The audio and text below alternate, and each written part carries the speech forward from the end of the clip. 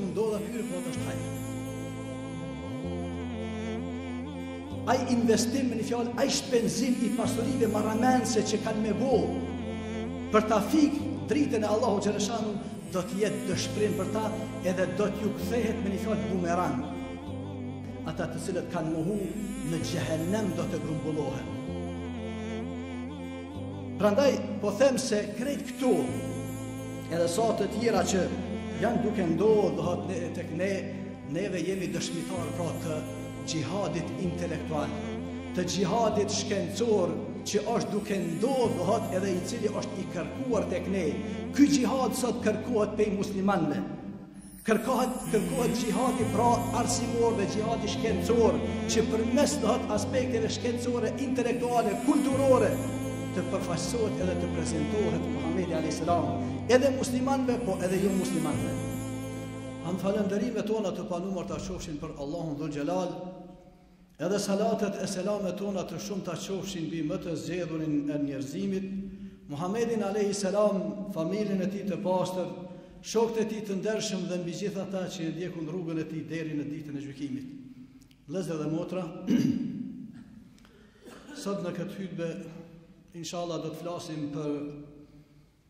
Temë aktuale, por nga një kënd pak sa kisha me thonë tjetër, do të flasim për atë që kam meditu, do thotë edhe kam mendu ta emërtoj si mirësitë e fushatës kundër pejgamberit a.s. E di se është titull pak i pazakonshëm, edhe e di që shumë kush mund të mendon se a thu ia vlen që të emërtohet një hytbe me kësi emri. Por me këte kisha me thonë qysh në fillim të hytbes se nuk bëj diçka të re as nuk dal nga ajo që ka porosit Kurani dhe Sunneti i pejgamberit alayhis salam por në përputhje me Këto dy do thotë bazat tona qendrore në fenë tonë islame, them se vërtet kemi të drejtë të emërtojmë edhe hytbe, edhe ligjërata, edhe aktualitetin tonë që është duke ndodh në aspektin ndërkombëtar se po kemi të bëjmë edhe me mirësi edhe ato të mëdha nga kjo fushatë që është duke ndodh ndaj figurës më markante kisha me thonë që ka shkel në faqe të dheut Muhammedit Alayhi Salam. Ne si muslimanë duhet mos me harru, që po është ma se e vërtetë që në ditët e kaluara është folë mjaft, apo ndoshta ende nuk është mjaft, por megjithatë është folë. Rreth, kisha me thonë, aspekteve të shqetësimeve, aspektin e, e asaj që vërtet është mendu nga dëmet që eventualisht Kanë mund të ndodhin nga kjo që është duke ndodhë edhe e cila siç po e shofim nuk është edhe duke u ndalë. Jo vetëm se para disa viteve, jo do thotë vetëm se para ca ditëve që ndodhi dhe çashtja e filmit, po edhe përsëritja e tij tani në aspektin e gazetës do thotë franceze e insistimi tash që kjo të merr do thotë të vazhdohet ende më tutje edhe nëpër shtete të tjera, Pa dyshim se në krejt këte ka mirësi. Edhe mirësia për këtë mirësi, Allahu Xhelshanuhu n'Kuran neve së pari na njofton e thotë, asa en tekrehu shejen ve hua hajrun lekum. Ndodh që ju të urreni diçka,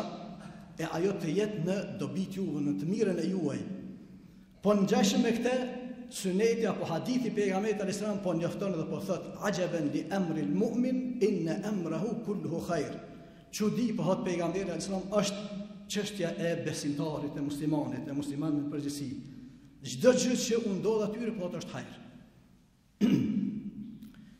si piknisje vetëm nga këto dy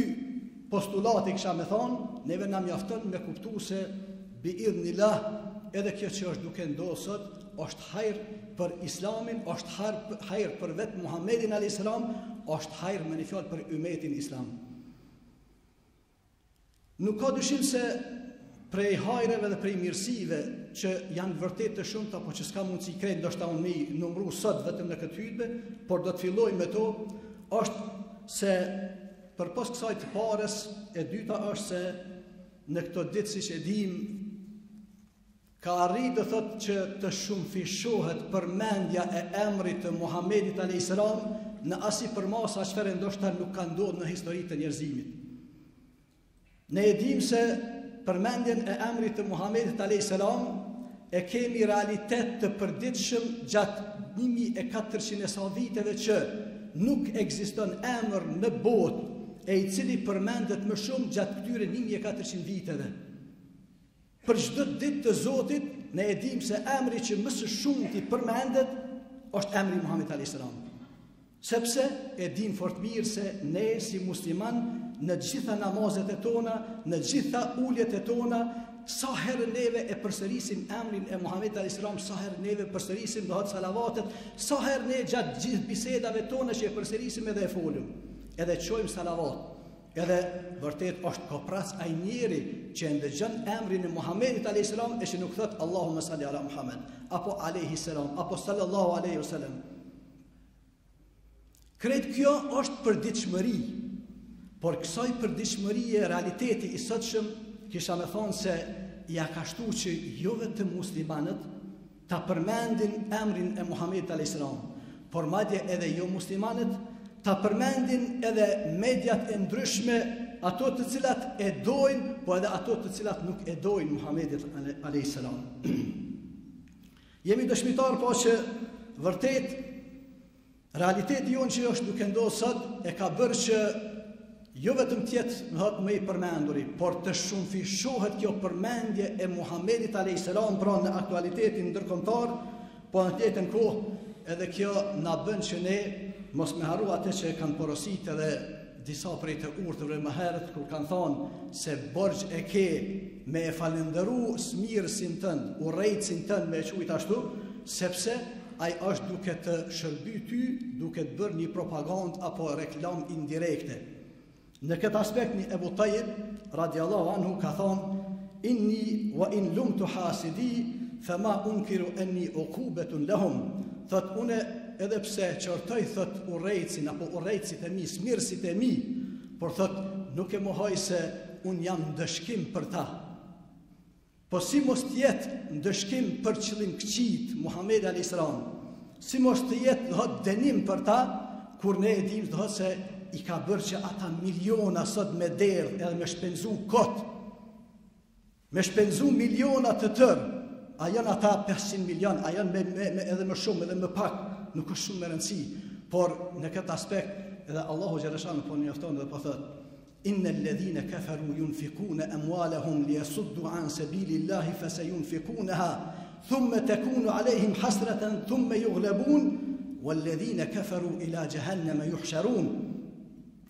Ajeti 36 i surës Enfal, Allahu xhaleshanu po thotë se ata të cilët mohuan do të shpenzojnë me një fjalë pasuri të tëra. Për çka? Për të ndalë nga rruga e Allahu xhaleshanu. Fesejunfikuneha. E që është kjo shumëmënsi kjo pjesë e ajetit që po njofton Allahu xhaleshanu se kjo po thot nuk ka ndodhur vetëm në kohën e Muhamedit alejhi selam. Ky shpenzim që e kanë bu mushrikët e Mekës, dushmanët e asaj kohe, po po thot fesejunfikuneha, kjo ka të bën me aspektin e vazhdimësis të pandërprerë, thot kanë me vazhdu edhe kanë me qenë të tillë, që kanë me vazhdu me shpenzu, ha? në këtë rrugë për të ndalë nga rruga e Allahu xheleshanuhu, thumme tekunu alejhim hasreten, thumme juglebun, thot por ajo ka me qenë një dëshprim për ta, Ai investim, me një fjalë, ai shpenzim i pasurive marramendëse që kanë me bo për ta fik dritën e Allahu xheleshanuhu, do të jetë dëshprim për ta edhe do t'ju kthehet me një fjalë bumerang. Thumme tekunu hasreten thumme juglebun, edhe mandej do të, do të ngadhnjehen. Vel-ledhine keferu ila xhehenneme juhsherun, ata të cilët kanë mohu në xhehennem do të grumbullohen. Ajeti 36 i surës Enfal, Kështu Allahu xheleshanuhu po njofton për këta njerëz. Kështu Allahu xheleshanuhu po njofton për këta njerëz të cilët vërtet nuk njofin pra shejtri, nuk njofin religjion, nuk njofin me një fjalë çështjen e aspektit të feve edhe respektimit të ndjenjave të njerëzve të më shumë se një miliard e gjysë njerëzve. Po edhe kisha me thonë, jo vetëm të një miliard e gjysve, por edhe të miliardave të njerëzve të cilët janë njerëz të cilët nuk janë të ngarkuar me smirë e me inate e me urrejtje e me luftime dhe të religioneve tjera. Prandaj, pa dyshim se edhe kjo është pra hajr. Është hajr sepse kjo përmendje edhe kjo që është duke ndodhur pra me aspektin e do të thotë përmendjes së Muhamedit alejhi selam, me aspektin e do të thotë prezencës së kësaj teme kisha me thonë në aktualitetin jo vetëm të muslimanëve, pa dyshim se është hajr për muslimanët. Po në të njëjtën kohë, çështja tjetër është se realiteti që është duke ndodh e ka bërë që të ndërgjegjësohen, kisha me thonë, edhe muslimanët, edhe ata të cilët eventualisht nuk ka, nuk kanë qenë ndoshta në nivel të ndërgjegjësimit që duhet pas ndaj Muhamedit alayhis salam, kur ô fjala për aspektin e veprave konkrete që kanë të bëjnë me Muhamedin alayhis salam. Është më se e vërtetë që edhe në të kaluarën po muslimanët e kanë ndi obligimin e prezantimit të figurës të personalitetit të Muhamedit alayhis salam domethënë masave të gjëra. Edhe kjo është bërë përmes librave të caktuara, përmes domethënë shkrimeve të caktuara, përmes fletushkave të caktuara, kasetave, CD-ave, gjëra të tjera. Por krejt kjo që është bërë në të kalushmen na të gjithë jemi domethënë dëshmitarë se ka qenë tepër e pakt Edhe jemi ende shumë larg asaj çfarë duhet bërë pra në këtë drejtim. Por këto raste që po ndodhin kështu, e të cilat nuk ka dyshim se nuk po ndodhin rastisht, e të cilat ndoshta pse muslimanët nga një herë po e harrojnë obligimin që e kanë, edhe ndaj Allahut xheleshanuhu, po edhe ndaj pejgamberit alayhis salam, edhe ndaj Kur'anit të tyre, po edhe ndaj fesë të tyre, Allahu xheleshanuhu ua çon ndoshta rastet e këtilla, e që na e dim fort mirë se Asgjë në këtë botë nuk ndodh rastisht. Asgjë në këtë botë nuk ndodh pa lejen e Allahut xheleshanuhu. Asgjë nuk ndodh edhe nuk del jashta vullnetit, irades së Allahut xheleshanuhu. Përderisa ne e kemi këtë bindje, Përderisa na këtë e besojmë bindshëm, a thu se ka vend domethënë që ne të shqetësohemi, a thu se ka vend domethënë për nervozizma domethënë të pavenda, a thu se ka, ka vend që të ndërmirren hapa të pakontroluar të cilët për fat të keq edhe në hytben e kaluar i kemi cek se kanë ndodh edhe janë ndërmarr hapa të cilët vërtet nuk përkojnë me a, metodologjinë pejgamberike, me atë që na ka njoftu vetë ky personalitet, ky njeri Me atë që na ka njoftu vetë Muhammedi A.S. neve muslimanëve se si duhet me një fjalë komuniku edhe si duhet luftu edhe e keqja. Në këtë aspekt, neve jemi dëshmitarë sot që domethënë këto vepra edhe këto raste që kanë ndodhë me tentimin që të zhytet figura e Muhamedit alayhis salam, personaliteti i Muhamedit alayhis salam, këto raste edhe këto fushata të cilat s'po s'po ndalen i kanë zgju edhe muslimanët që kanë qenë eventualisht në gjumë. Edhe i kanë bërë që ata vërtet të ndërmarrin aksione edhe të ndërmarrin iniciativa konkrete se si duhet pra përfaqësu edhe si duhet prezentu Muhammedi a.s. masave të gjera. Edhe për atë, ajo çka është shkruar edhe çka është bërë më herë, më herët për Muhamedit alayhis salam, vërtet mbetet shumë e paktë në krahasim me atë çka është duke ndodhur tani në këto vite. Ajo çka është duke ndodhur tani me botime të ndryshme edhe atë në gjuhë të ndryshme, rreth Muhamedit alayhis salam, kjo nuk ka ndodhur në 1400 vitet e kaluara. qoftë në aspektin e librave e titujve që janë duke dalë për Muhammedin alayhis salam, qoftë në aspektin e faqeve speciale të veçanta, të cilat po hapen në internet e të cilat merren ekskluzivisht me prezantimin e figurës e personalitetit të Muhammedit alayhis salam. E sa e sa iniciativa tjera të ndryshme që janë duke ndodhë sot, e të cilat vërtet janë përfaqësim i denjë